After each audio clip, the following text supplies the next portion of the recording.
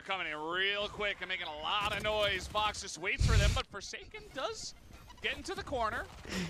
Got that going for him. this looks like he's having the most fun, man. It really does look like he's having the most fun. Ah, missed the jump out on this one as well.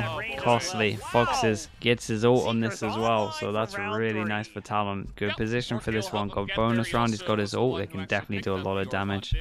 That's great from them. Full buy comes in. Let's see what uh see what Pickrick's got.